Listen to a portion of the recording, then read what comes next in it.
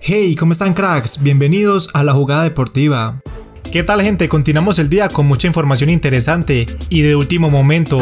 Comenzamos con los partidos donde estuvieron presentes los colombianos. Muy temprano el Rangers gana por goleada 4 a 0. Alfredo Morelos estuvo presente hasta el minuto 62 y con este resultado se consagran como campeones de la Liga de Escocia. Se vio al compatriota celebrando con sus compañeros este nuevo título. Morelos contribuyó esta temporada con 12 goles. Por otra parte, el Atalanta gana un partido lleno de goles, 4 a 3 contra el Genoa, donde no podía faltar el gol colombiano. Esta vez Zapata convirtió en el minuto 9 para abrir el marcador, sin dudarlo al palo derecho, después de tremenda asistencia, buena jugada. Pero el Toro no se quedó quieto y aportó la asistencia para el segundo gol. El VAR tuvo que intervenir ya que fue anulado porque supuestamente salió el balón. Muriel por su parte fue suplente casi todo el partido entró en el minuto 89. También teníamos el encuentro de la Juventus que se jugaba su puesto a Champions y en un partidazo le gana al Inter 3 a 2.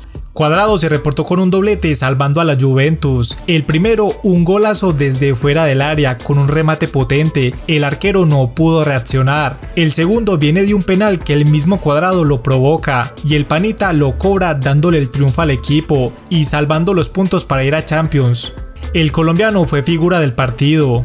Cambiando de tema, se vuelve a aplazar el fútbol colombiano. La llave de Tolima versus Cali no se pudo jugar por temas del paro y el primer partido por las semifinales también fue cancelado. No se sabe para cuándo ni en qué lugar, no se sabe absolutamente nada. El presidente de la DIMAYOR dijo que están tomando decisiones sobre la hora y que día tras día están mirando qué hacer. Volviendo a los temas de Copa Libertadores, ya que han sido tema mundial y no precisamente por el fútbol, sino por todo lo que pasa afuera de los estadios, hoy salió un comunicado de la Conmebol diciendo que el partido entre América contra La Guaira se disputará en Bucaramanga y claramente no faltaron las críticas y oposición. Todavía no se conocen si están las garantías para que se dispute este partido.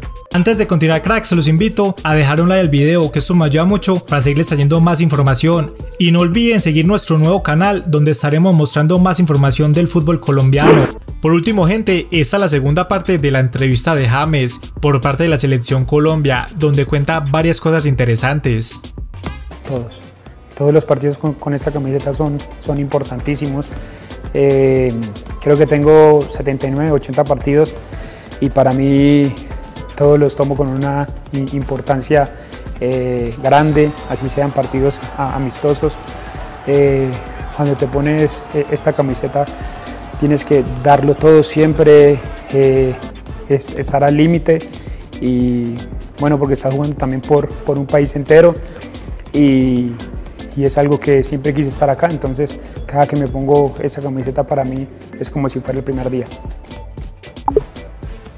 Ganar alguna copa, es lo que yo quiero.